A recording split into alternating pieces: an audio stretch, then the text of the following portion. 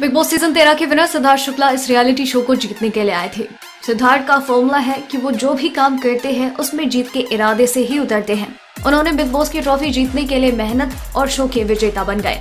Show के finale वाले दिन टॉप सिक्स कंटेस्टेंट्स को 10 लाख का मनी बैग ऑफ़र हुआ था, जिसे पारस छाबरा ने उठाया।